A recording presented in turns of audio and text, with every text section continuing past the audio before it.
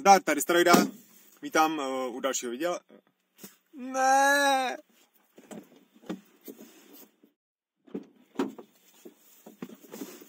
Zdar, tady Strojda. Vítám u dalšího videa.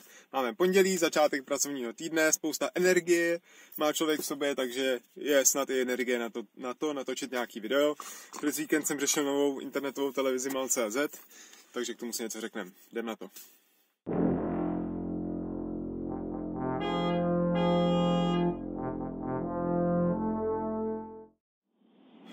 Takže, jak jste si možná všimli, tak na internetovém rybníčku se pohybuje nová internetová televize, nebo takový něco, MOL TV, MAL TV, jak je ten obchod MAL.cz, tak MAL, MAL TV. Souvisí to spolu.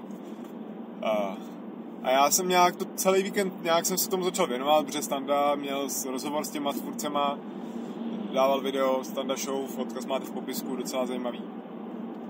Tak jsem pak koukal přímo na MOL TV a nějak jsem se tím nechal tak jakoby ovanout jako takový první dojmy, protože do hloubky jsem to zase tak zatím neřešil a je to stejně v počátcích ještě, jak přímo říkali ti, ti tvůrci, že jsou na začátku. No a podívám se na to z takového jakoby technologicky designového hlediska, abych mohl něco přihodit zase do playlistu UX design a tak. A, a pak něco k těm pořadům, ale to já nejsem asi plně cílovka, ale to si řekneme ještě. Uh, vemu to od začátku, protože to spolu pěkně souvisí. Já jsem se o MOL TV dozvěděl z reklam, co měli všude možně. Já jsem to viděl asi na YouTube, protože jediný reklamy, co vydám, jsou na YouTube. Uh, a to byla taková ta reklama, jak mají takový to výběrový řízení, že mají MOL TV a že tam chtějí dělat nějaký pořady a přijde tam ten týpek, uh, co stírá losy, pak tam chce stýkat barbíny, pak tam je ten, jak se jmenuje, Novotnej, jak je teď starosta v Řeporích, se tam stýká do, do, do náha a tak skoro. A v té porotě je Vaněk a další lidi různý. Takže MOL TV, takže od té doby jsem o tom věděl a říkal jsem si, ty vole, MOL TV, to je to, o čem chci mluvit, to je ten začátek, jak se s tím člověk seznámí. Jo. Že MOL TV, že to je ten MOL jako MOL TV. Tak to na mě nějak tak jako by působilo, ale nehodnotil jsem to. Ale prostě v tu chvíli jsem si to hnedka pamatoval a to je důležitý. Protože třeba jsem o tom dneska říkal, teda o víkendu říkal ženě, jestli o tom slyšela, jsem testoval, vždycky testuju její úroveň, jakoby, protože ona fakt jakoby, to dění nesleduje vůbec a má takový klídeček ve své hlavě, protože se k ní skoro nic nedostane a má svatý klid tak jsem testoval, jak moc agresivní reklama to je, jestli to proniklo i do tohohle, ale rozsvítíme si, jestli to proniklo do tohle, tohohle jejího koutečku. A ne, neproniklo. Ale pak viděla, že na to já koukám a říkala, MOL TV, to je jako ten obchod, to je nějaký debilní, ne, jakože, protože po, v televizi v obchodu a přišlo jí to jako, měla z toho takový negativní pocit, že? A stejně tak, když jsem pak koukal na komentáře u toho standova videa, tak tam psali lidi, že MOL TV, že to je divný, že to je spojený s tím obchodem, má internetový obchod a to je prostě komerce a, a prostě dostat nás nějaký peníze a že to je jedna velká reklama celý a tak. Což není zas tak daleko od pravdy, no ale to si ještě řekneme. Ale prostě má to tyhle ty konotace. A z tohohle hlediska já hodnotím ten název MOL TV jako naprosto dokonalý, jo. Protože Uh, když chcete prorazit, má, už tady existuje stream a je seznam zprávy a YouTube, všechno, tak chcete prorazit něčím moderným. A ten MOL CZ je známý, protože to je dost velký obchod a, a to spojení prostě zafunguje, jakoby, že, že si to člověk zapamatuje a to je důležité, že jo, můžeš mít z toho špatný pocit, dobrý pocit, ale důležité, že to máš v hlavě a vede tě to k tomu, i když máš z toho špatný pocit, se podívat teda, o čem to teda je a potvrdit si třeba to špatný očekávání. Takže z tohohle hlediska to funguje parádně. E, I to logo mají vlastně stejný, myslím, logotyp, jestli jsem koukal, že to je stejný, jakoby stejný font písma a tak, akorát to jsou jiný barvy. Ale oni to ještě tahají tuhle spolupráci dál a to si, to si hnedka řekneme zápětí. Uh, takže já jsem teda s, o tom věděl, teď jsem zahlídnul toho standu, tak jsem uh, nejdřív šel na MoTV, pak jsem koukal ještě na ten rozhovor. A koukal jsem na, tu, na ten jejich web. Eh, který se podobá relativně streamu CZ, malá odbočka. Já jsem si uvědomil teď o víkendu, že jsem úplně zapomněl na to, že existuje stream.cz. Já jsem se přeorientoval na seznam zprávy, na různé ty rozvody politický a na šídla a sleduju na YouTube taky zase nějaký rozhovory a na Info.cz čtrunce sleduju rozhovory a tenhle ten jako infotainment mě prostě úplně minul a přestal jsem se o to zajímat. Na stream jsme dřív koukali na, na Vaňka, když tam měl ještě peklo na talíři nebo něco, na Adost, ale to už taky se pomrzelo. A teďka, když tam vidím ty pořady, já jsem zkoušel nějaký, ale nikdy mě žádný jako nebavili. Já, jo, nebavili prostě. Já jsem hodně vybíravý na to i na youtubery, na jaký koukám a tak. No ale vzhledem k tomu, jaký mám výběr a měl jsem dřív strucha, tak, tak to je takový pochybný, ale to je jedno. Takže na Stream.cz jsem zapomněl a teď se mi to celý vrátilo, protože oni jakoby konkurují Streamu.cz a hlavně ty tvůrci, to jsem teda mohl říct, pokud to nevíte, a byli u toho standy, tak to jsou, to je tým lidí, kteří vlastně vytvořili Stream.cz, ten nový, ale už se tam cítili tak jako sevření, už se to nehybalo asi dopředu, oni chtějí být hodně inovativní, tak vlastně šli, šli do něčeho nového a vytvářet celý tenhle nový produkt MOL TV. Takže to vypadá podobně, ten jejich web. To znamená, jsou tam nějaký pořady nebo videa, dá se to pustit i jako televize, že to běží, prostě skládá to pořady za sebou. A, a, a jsou tam teda ty pořady. Takže kliknete na pořady a vidíte ty jednotlivé pořady, které tam jakoby mají. A je tam Maněk, a je tam ten Lud, Staněk, jak se jmenuje, je tam uh, Laco, Desi, nebo jak se jmenuje, ten byl párkrát v DVTV, nějaký ten jazzman takový jako přizprstlej, uh, to, tak si ho tam natáhli a ještě tam jsou nějaký známý figury, je tam, mají tam nějaký jakoby seriál Život je hra, kde je Suchánek, jo, takže prostě to je nějak, a mají tam těch věcí hodně na to, že běží chvíli, tak to vypustili se spoustou obsahu. Se spoustou obsahu, tečka. Protože jde o to, že oni mají dobrou asi business strategii, takhle to na mě působí i ten jeden týpek, ten businessový ředitel, co tam byl u standy, jeden z nich, tak to je týpek, co dělal předtím v Google, jakoby v Dublinu, měl starost Čechy a Slovenskou pro Google, nebo YouTube přímo, no pro Google. Jo, a je to obchodní ředitel a je vidět, že, že to mají jakoby promyšlený, to se mi líbí, když to zatím je vidět. Protože oni vlastně spustili produkt, který je v tuhle chvíli při spuštění je srovnatelný se streamem CZ. Je tam spousta pořadů, který už mají x díl, třeba některý, jo, takže už se dá na to koukat. Mají tam, že, se může, že ti běží ta televize, mají tam, že si můžeš proklikávat ty pořady. Uh, a ten obsah jakoby toho portfolio je docela podobný, takže to srovnání jde už teďka. A přitom jsou na začátku. A takový to, kam to jde dopředu, je na tom vidět už, už teď. Zajímavá věc je, na svou budu mít nějaký hate, jo. Protože když jsem si chtěl pustit uh, nějaký videa, nějaký ty, tam mají ty stand-upy, Staněk a Čermák, nuda, jo, hrozné. Já se k tomu obsahu ještě nakonec dostanu, zmíním jenom, by můj osobní nějaký pohled. tak jsem si to chtěl pustit a vyskočilo mi to, tam hláčka. Tohle je jako nevhodný pro děti, přihlaste se a ověřte svůj věk. Tak jsem říkal, aha, ono se tam dá si přihlásit, jo. Takže teda to, takže dám přihlásit nahoře vpravo, měli. A teď, a teď tam bylo vyplnit jméno, heslo a pak tam bylo přihlásit se přes, Google, přes Facebook a ještě něco přes Google. A říkám si, ty vole, kde, já si chci zaregistrovat, nechci přes Facebook, já to nedělám přes ten Facebook, když jakoby nech, to není nutný, nebo mám jen málo někde mám přihlášení přes Facebook, že se radši rovnou zaregistruju. A teď jsem si všiml vpravo dole registrovat, jo. OK, takže UX prostě tlačení do toho, aby se člověk napojil přes Facebook, aby prostě se to začalo všechno propojovat. A samostatná registrace není jejich jakoby go-to jakoby registrační flow, kterou by podporovali. Jedno, tak jsem se zaregistroval, to je všechno v pohodě. Tak jsem si říkal, dobrý, jsem zaregistrovaný, tak jsem se vrátil na to video a zase mi to tam hodilo, potvrďte svůj věk a já, aha, tak asi datum narození, nebo musím někde svůj věk. Tak jsem šel do toho profilu a tam, že si vyplním datum narození. A teďka kliknete do toho polička datum narození a otevře se vám date picker takzvaný, jo? to je prostě, že se vám otevře takový kalendářík, kde si máte vybrat datum narození, že jo. Jenže prostě tenhle ten, tenhle ten prvek buj není pro výběr narození vůbec vhodný, protože vlastně vám se tam objeví dnešní datum. A vy jste tam, vy jste tam, takže co je teďka, listopad, 11. bylo nebo kolik. Takže vy tam máte listopad 2018 a 11. A vy, když si chcete proklikat na svoje datum narození, tak musíte vlastně odzoomovat až na roky. Tam se dostat až někdy do 20. století, 1983 jsem ročník. A tam zase vlíz do toho zase ten prosinec a najít tam ten datum. A tak si vyberete ten datum, ale prostě tenhle ten date picker se na výběr datumu narození se nepoužívá. To se používá, když já nevím, když si chcete zabukovat dovolenou někde na příští měsíc, jo, nebo se to používá v pracovním prostředí, že si dáváte schůzku na zítra. Ale když, když se vybírá datum narození, tak je nejjednodušší mít nějaký tři select boxy pro den, měsíc, nebo to tam prostě ručně napsat, jo. Já jsem nejdřív, než jsem totiž kliknul na ten date picker, takže napíšu datum ručně. Takže jsem napsal prostě, mám říct vám, kdy mám narozeniny, no to Prostě jsem napsal uh, den, tečka, měsíc, tečka, rok. A, a nějak jsem to neřešil, prostě napsal jsem to, naskroval jsem dolů, dal jsem uložit a šel jsem zase na to video a zase ověřte věk a já jsem říkal, teď jsem to tam zadal, že jo. Tak přijdu na ten profil a vidím, že to tam vyplněný není. Tak jsem to, až na podruhý jsem to vybral přes ten date picker a všiml jsem si, že to datum se tam zadává v tom mezinárodním formátu uh, rok, měsíc, den s pomlčkama. Že to nemají s číslama, jak je zvyklý u nás, že jo? To je taky prostě UX fail, protože prostě každý zemi to má jiný zvyky. V České republice se to zadává prostě s tečkama, normálně klasicky, jak znáte datum. Jo, takže tady mají takový trošku něco, co by mohli vypilovat. No to je jedno, takže jsem konečně ověřil ten věk a, a mohl jsem se dívat na to video. No ale když jsem byl už přihlášený, tak jsem si všiml, že vy můžete dát na pořád nějaký odběr a můžete, myslím, i odebírat, co tam bylo ještě, že odebíráte nějakého jiného uživatele. Něco, něco jsem, to jsem si, to jsem nedokoukal, ale to jsou taky první dojmy, jo, není to nějaká sofistikovaná analýza, jo. Ale že můžete odebírat nějaký pořady, což nevím, jestli je na streamu. To mi když tak napište. jestli to někdo víte, já to zkoušet nebudu. Jo, ale to už je taky dobrý, protože to je takový pain, nebo je to takový otravný, když tam pak máte chodit častěji a nevíte, jestli vydal se nový pořad, když to začnete odebírat, předpokládám, že vám bude spamovat to i do mailu, že vychází nový pořady. Takže jakoby super.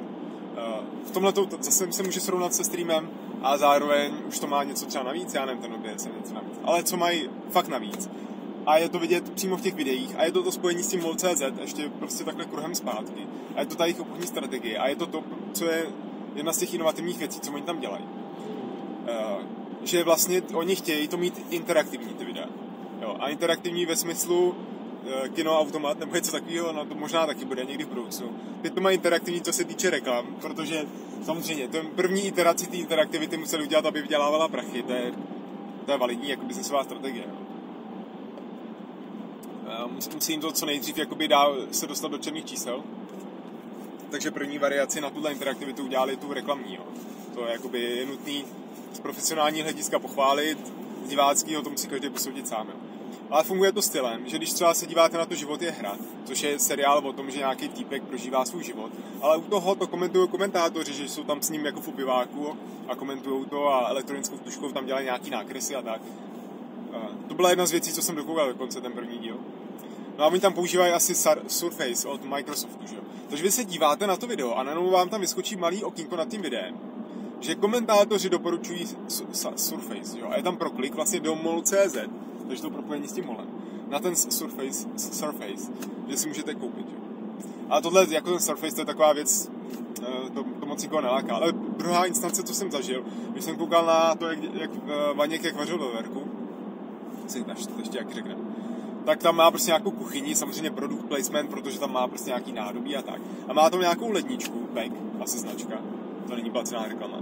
A taky tam hnedka, když se tam baví, tak tam vyskočí okýnko, uh, líbí se vám, nebo lednička PEG v mal.cz od 26 tisíc nebo něco. A zase pro A to je to, o čem pak mluvili oni v tom rozhovoru, že vlastně chtějí tu reklamu udělat takhle jakoby víc kontextuální a takovou jakoby chytrou, že to ty lidi prostě nenaštve. Jo. Samozřejmě tady musíš klikat na to, ale je to je to lepší, než, kdyby, než třeba na primě, kde když se chcete dívat na něco na primě, tak za, za to jedno video si jdete asi 12 nepřeskočitelných reklam. Takže oni tady chtějí dělat má méně těchto těch reklam jakoby vložených, ale třeba tyhle ty interaktivní prvky, jo. Což mě přijde jako super, no jo, nutí tě to tam klikat. Jo, takže by bylo super, kdyby tu interaktivitu brzo rozšířili na nějaký třeba ankety, nebo že můžete rozhodovat, kam se ten příběh třeba dál posune, jo, nebo něco takového, to by myslím si, že jakoby plánují určitě nějaký experimentální formát, který tu interaktivitu vytěží pořádně interaktivitu. Takže to, to, to, to co i říkali, že tam nechtějí rvát tolik těch reklam, mám benzínu dost, Uh, ale že to chtějí takhle udělat interaktivní, což je super. A tohle už je něco, co už určitě je víc než stream. A je to dobrý, že to je propojení s tím CZ a dává to jakoby biznesový smysl. A to je prostě dobrý, protože a vy všichni, co se na to budete dívat, já si se na to moc koukat nebudu, ale tak tohle jako vy buďte za to rádi, protože pokud budou mít zdravý biznesový model, tak to znamená, že, že můžou uh, tvořit dál, můžou dělat lepší věci a budou na to mít prachy a vás nebudou tolik otravovat jiný otravný reklamy. A taky je dobrý, že tohle nezablokuje adblock, podle mě. to už teďka, já, já mám adblock defaultně zaplay a vypínám ho na nějaký věci, jako třeba na YouTube mám vyplay. A A tady minimálně reklamy se objevovaly, takže oni tam mají nějakou svoji jakoby, technologii na ty reklamy, který ten adblock plugin ještě nezná, takže to neblokuje. Ale tyhle ty interaktivní okýnka, jak JavaScriptový, tak ty prostě podle mě ani nebude moc zablokovat. No, to bude, bude zajímavá ještě otázka. No. Takže jo, co se týče té tý technologie a produktového hlediska, tak, tak to schrnu, pak ještě jenom dělám takovou malou odbočku těm pořadům. Tak z tohohle pohledu ten uh, MOL TV se mi líbí. Jo, jak to, je to fakt dobře vymyšlený, maj, ta značka MOL TV si myslím, že dobře funguje, i když je taková kontroverzní. Uh, ta reklama, která všude byla a lákala na to lidi, tak podle mě taky byla funkční. Oni říkali, že je i dost oblíbená, že prostě se jí sdílela a tak. Uh, samotný ten produkt, jak ho launchli, jak ho vlastně vypustili do světa, tak je hnedka srovnatelný s tou svojí konkurencí. A zároveň přidává něco navíc, což je super startovní bod. Zároveň mluvili o tom v tom rozhovoru se Standou, že, že, že to je fakt začátek a že už mají namyšlený spoustu dalších věcí. Takže je super. Pokud mají zdravý business model, tak na ty věci budou mít ty peníze. Uh, mají schopný tým lidí, kteří jsou za prvý zkušený z toho streamu, za druhý to jsou nějaký lidi z Google, což jako nemusí být nic extra uh, zase, ale aspoň mají nějaký zažitý, nějaký zajímavý praktiky z nějakého dravějšího biznesu, marketingu a tak, proč ne. Uh, takže jsem, no a pak samotná ta jakoby to zpracování technologický je taky super, ten web se mi líbil, až na ten zásek s tou registrací, to, že tam jsou nějaký ty featurey těch odběrů nebo těch interaktivity, to je taky pěkný, zase něco navíc a uvidí se, kam to dál posunou. Uh, pak je další věc, teda, to jsem ještě nezmínil, že ještě nemají žádnou aplikaci, což si prý taky lidi už jim někde psali do chatu při tom rozhovoru se standou zase, že chtějí aplikaci, což jsem ani neověřoval jsem si, ale bylo mě úplně jasný, že na tohle musí být taky aplikace. A tu teď teprve vyvíjejí, tu nemají. A je evidentní proč. Za prvý asi nemě, chtěli být co nejrychlejší, zaměřovali se na obsah, takže radši udělali ten pořádný web, který je určitě responsivní pro mobily. To jsem neskoušel, ale to je evidentní. A ta aplikace je prostě úplně nový technologický vývoj, ale hlavně podle mě oni do té aplikace chtějí dostat uh, taky tu interaktivitu nějakým způsobem. A to už je podle mě větší výzva, protože na tom mobilu, aby vám tam vyskakovaly nějaký pop-up to je prostě úplně to je vyšší dívčí, jak se říká. Ale to prej do dvou, tří měsíců budou mít taky.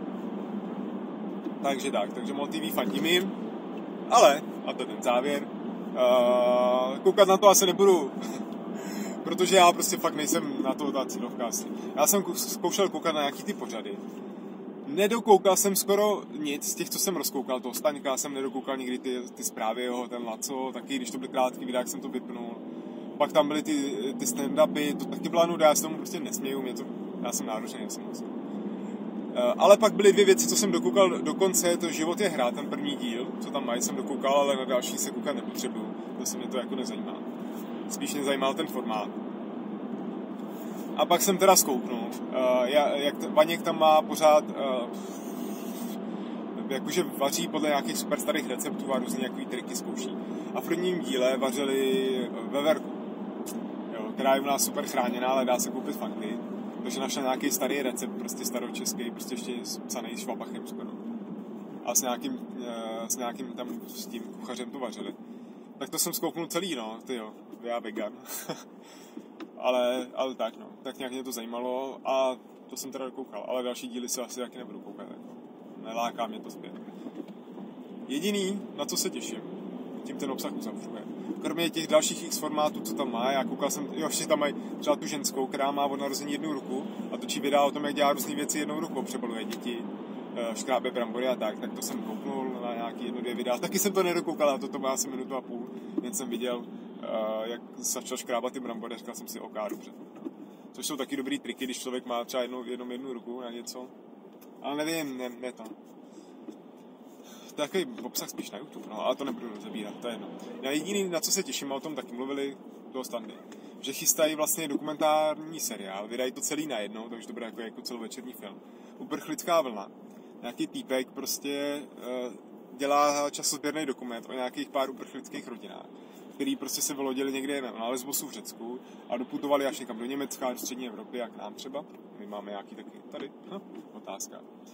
A je to takový pohled na to, jo. A on právě tam říká, že to je dobrý, že to je takový, že to není rozhodně sluníčkářský, ani prostě ten druhý extrém. Že to je prostě pěkně plastický o tom, jaký mají ty lidi motivace a že tam jsou týpci, který fakt si sem vyjeli vydělat, pak tam je týpek, který přišel celou rodinu, zoufalej prostě a tak. tak to, to až vydají, tak na to se kouknu, to mě zajímá z čistě takového profesionálního hlediska. Abych měl z argumenty do nějakých hádek prostě s, s těma antiislamistama. Takže jo, to by bylo všechno, tyhle dlouhý video. No já to líp ne, neumím, no, sorry. A pokud se vám rozbor líbil, hoďte like.